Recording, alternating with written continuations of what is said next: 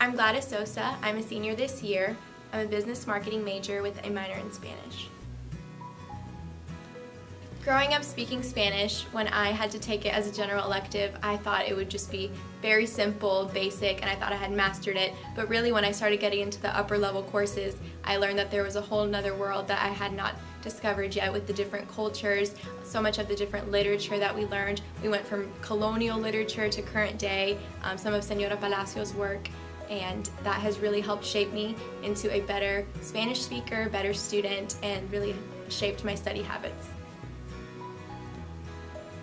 Throughout my years of taking Spanish here at AU, I've had classes with many of the same people, and I'm just so impressed at how they've refined their language over the last couple of years, from starting out going to mission trips in Honduras or Guatemala, and now being able to fluently speak and they're very passionate about it and I know that they'll be able to utilize that whether on the mission field or in their job. Our community is such a melting pot of cultures that I know once I get out into the workplace I will definitely be able to utilize my Spanish along with my business practices.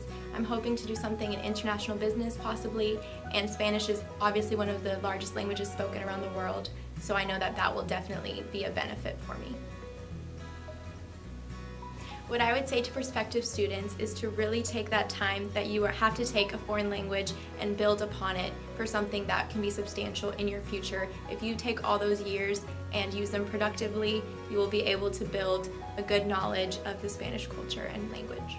Overall, the Anderson University Spanish Department has helped me refine my language skills, make great relationships with my peers and my professors, and just get a better understanding of the cultures around the world.